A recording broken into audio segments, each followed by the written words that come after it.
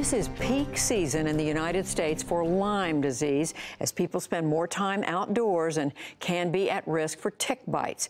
Each year, at least 30,000 cases are reported, and researchers believe those estimates are low. Given its debilitating effects on some people and after years of research, it begs the question, why is there still no vaccine people can get to prevent Lyme disease? Miles O'Brien has been exploring that for his weekly reports on the leading edge of science and technology. Um, why don't you have a seat there? Sure. It looks like a routine medical test. But Dr. Linden Hu of Tufts University is prepping a patient for a procedure that would tick me off. So now we're going to just put the ticks in there. They move really fast, so um, I'm going to have you keep an eye too. He is placing 28 larval ticks on a volunteer's arm, hoping they will help solve some of the mysteries of Lyme disease. Well, I'm nervous. I'm not particularly thrilled having ticks on my arm.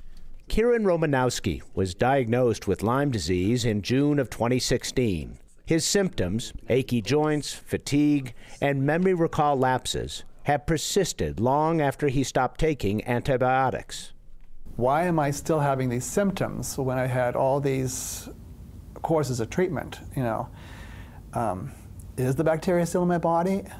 I don't know. Neither do doctors. About 10 to 15 percent of people who get Lyme report stubborn symptoms for months, even years, even after antibiotic treatment. Is it lingering damage from Lyme? Are the body's natural defenses stuck in attack mode? Or is it something else?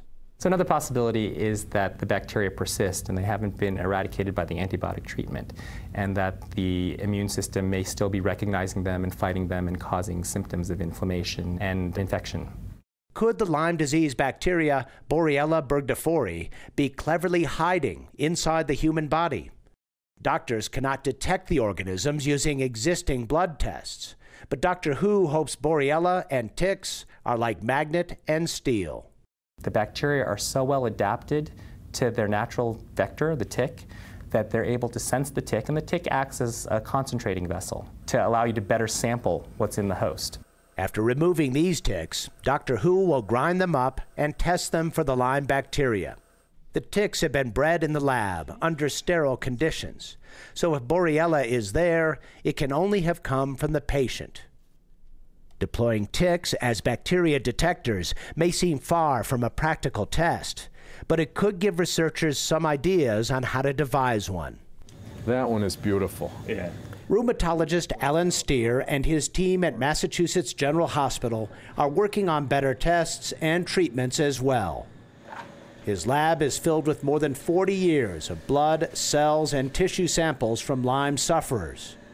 In 1975, Steere was the investigator who first connected the dots between a cluster of children with symptoms of arthritis in Lyme, Connecticut, and what came to be known as Lyme disease.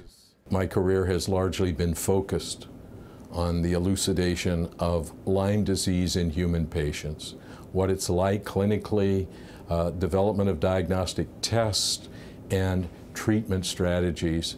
Uh, with various courses of antibiotic therapy, but then also prevention of the disease by vaccination.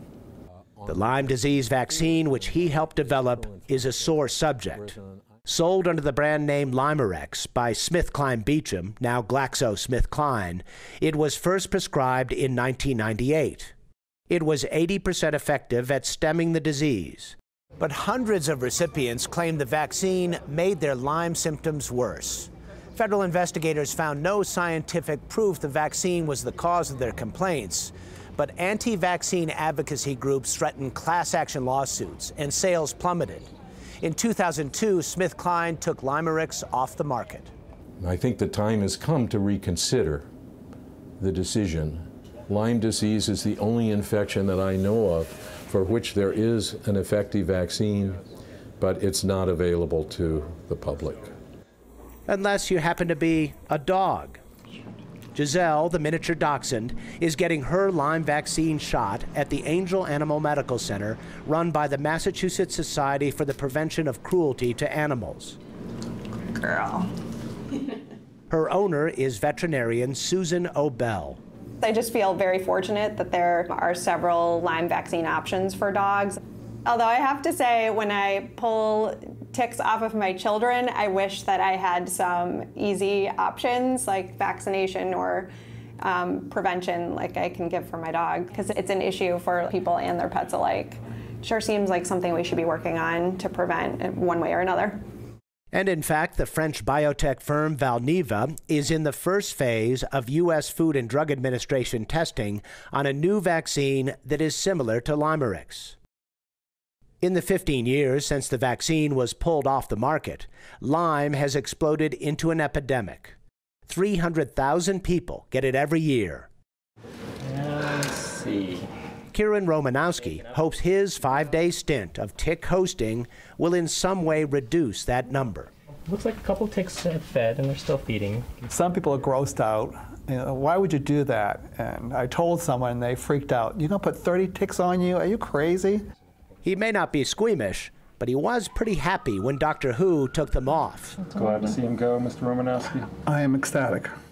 Doctor Hu would share that emotion if his results would stop this raging, uncontrolled epidemic. And we're done that way. Okay. That wasn't too bad, was it? No. For the PBS NewsHour, I'm Miles O'Brien in Boston.